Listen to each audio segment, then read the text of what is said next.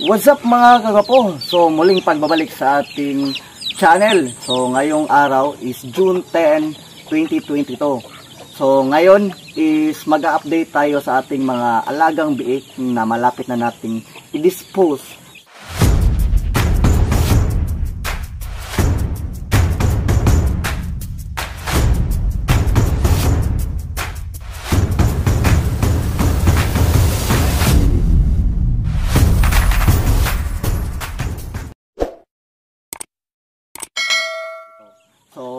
ating mga alagang biik ay 4 months at saka 7 days na po sila.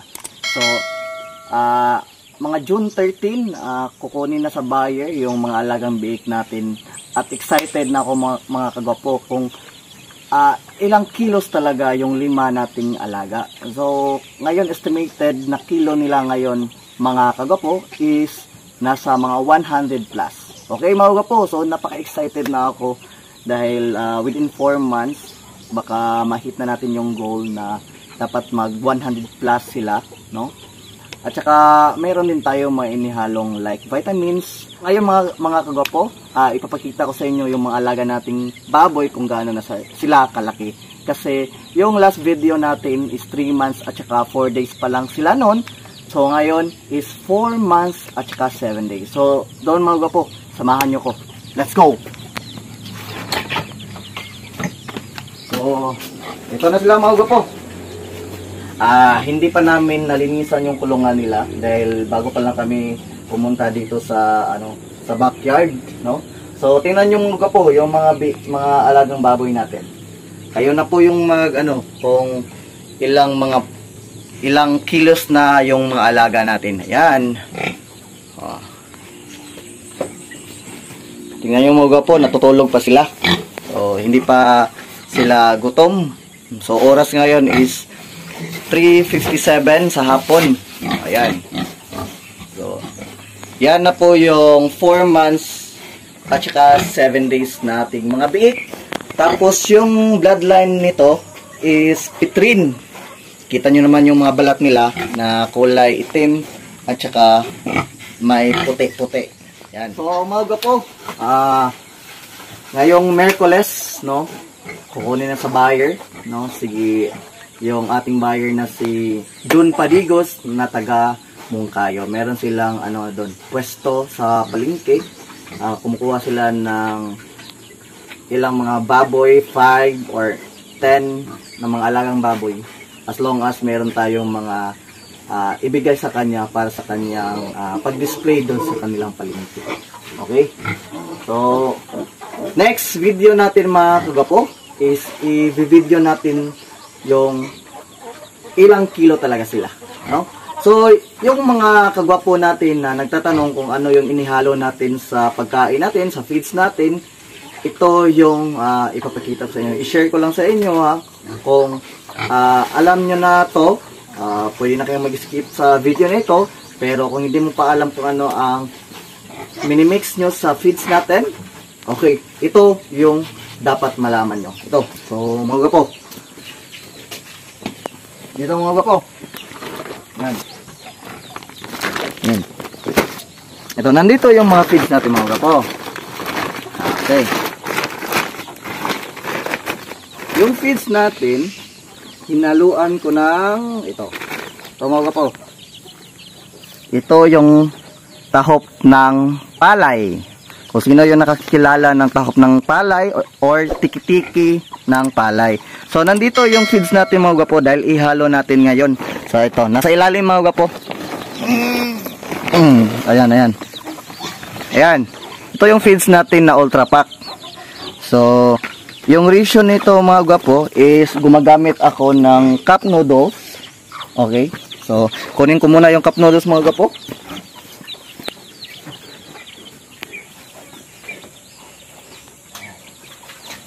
Mga po. Yung ratio na binibigay ko sa alagang biik natin is uh, 18 18 cup noodles of feeds, no? Itong feeds na ultra pack. So at saka ito namang tahop ng palay, ang binibigay ko dito is 20 cup noodles, no? 20 cup noodles, yung tahop ng palay, at saka 18 cup noodles yung feeds na ating inihalo. So, i-mix na lang po natin itong mga gwapo. So, at saka kung mag-mix kayo mga gwapo, at syempre, bigyan nyo po sila ng vitamins na ginagamit natin. So, ito po yung sagpaan yung na-video ko ng nakaraang buwan, no? So, yung vitamins na binibigay ko sa ating mga alagang baboy. Siyempre, itong si, ano, Selectrogen Plus. So, dapat kung mag-mix kayo mga gwapo, dapat meron kayong vitamins na ibibigay. Pero kung hindi kayo nagmi-mix, ah pwede namang hindi kayo magbibigay ng vitamins, pero ah, meron talagang difference sa hindi magbigay ng vitamins at, at saka sa magbigay ng vitamins. So, ini ihalo ko lang mga. Ayan. So, yung, yung nagtanong kung ano yung inihalo ko, nalaman mo na kung ano yung inihalo ko. Pero meron, meron din tayong ah, second type or pangalawang style kung ano yung mga minimix natin. So, yung pangalawa is wala pong feeds. Wala pong feeds na inihalo. Which is tatlo yung ah, sangkap niya para maghalo kayo. Para po sa patining yun. Number one is ah, tik-tik ng mais. Okay, so sino yung nakikilala ng tik-tik ng ma- mais? Yung puti, yung napaka-powder niya. Yon tik-tik ng mais, ah, tahop ng palay or tik-tiki ng palay at saka PPC. Okay. So, yun po ang inihalo ko nung nakaraang alaga natin ng mga baboy. PPC. PPC, tahop ng palay at saka tik-tik ng mais. Okay. So, yung ratio nila mga gwapo, yung mga sangkap, is uh, next video na lang o i ano i-share mga gwapo dahil ipapakita ko lang sa inyo ngayon kung ano yung inihalo ng feeds natin. So, ibang usapan naman yung ano, yung ratio ng tatlong sangkap. Yung ginamit ko yung tatlong sangkap mga, mga kagwapo is tumitimbang yung baboy natin ng 100 plus pa rin. Yung pinakamalaki mga gwapo, so ito yung mga gwapo, tingnan nyo. Ayan. Yan. Ang pinakamalaki dyan is 146 kilos. At saka yung pinakamaliit dyan, yung nakikita nyo dyan, is 104 kilos po. 104 kilos. Within, ano yun, ah 5 months. Kasi mixing yung ginamit natin eh. Pero kung pure feeds ka, mga 4 months is 100 kilos na talaga siya. Pero kung mixing type ang yung ginagamit mo, is aabot talaga ng 5 months. Dahil ano eh, iba talaga yung ano eh, yung pag-mixing. Pero hindi ka lugi sa ano, sa pinapakain mo. Hindi ka lugi. Mas makales ka doon. Kaso lang, mas mataas yung araw na pagpapakain mo. So, malapit na ma-mix yung pagkain natin mga gwapo. So, pakain namin ito ngayon. At syempre, yung vitamins, hindi natin kalimutan. Okay mga gwapo, so next vlog, so ipapakita namin sa inyo kung ilang kilos na sila. Napaka-excited ko na talaga mga gwapo. Siguro may aabot siguro ito ng 130 kilos. Hope, no? At saka sana walang bababa ng 100 kilos. At saka yung kuha dito sa mga baboy mga la- lalo na yung buyer natin, is 170 per kilo. So, yan po yung ano niya, bilihan. No? At syempre, yun, yun, yun din ang ating bintahan na price. So, 170 per kilo po tayo. So, ito is 100 plus yung baboy natin. So, mukhang uh, makukompute na natin yung kung magkano yung income natin. A few moments later. So, ito mga gwapo, ah, tapos natin i-mix yung ano to, feeds at saka yung tahop ng ah, palay. So, lagay na natin dito mga gwapo sa baldi. Ayan. Ayan. At saka syempre mga gwapo, yung vitamins natin, ihalo natin ito sa tubig. Ayan.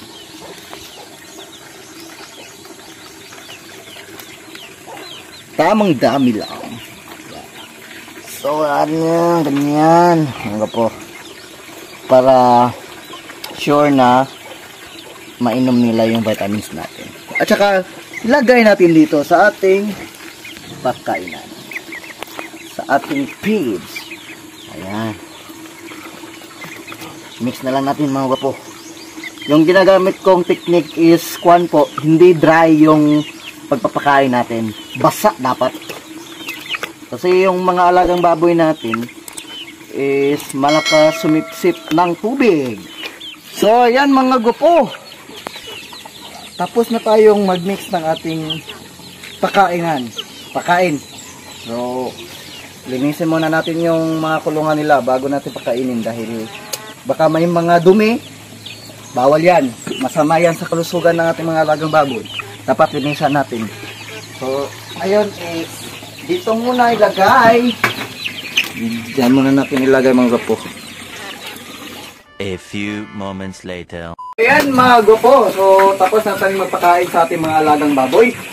So, ayun, naipakita namin sa inyo kung ano yung ah inimix ng ating feeds, no? So, yung tahop ng palay. So, ito po yung ah, i-dispose natin ah, July 15. So, ayun lang mga gopo, kung Ah, may natutunan kayo sa ating video na ito or nakakatulong ito na video, please like and share sa ating video mga gapo. At saka kung nagustuhan mo ito mga gapo, please comment below na okay. So, ayan mga gapo, thumbs up. At saka kung bago pa kayo dito sa ating ah, channel or yung mga back viewers natin, so please subscribe to my baby channel dahil ah, malapit na tayong mag-monetize mga grupo. So malapit na yung 1k subscriber natin. Sana matulungan nyo ako.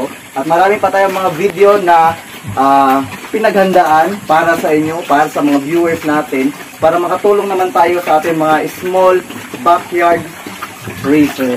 So ayan mga gwapo. So thank you for watching. Ito si Tito Gapito, ang gwapong Tito. Bye!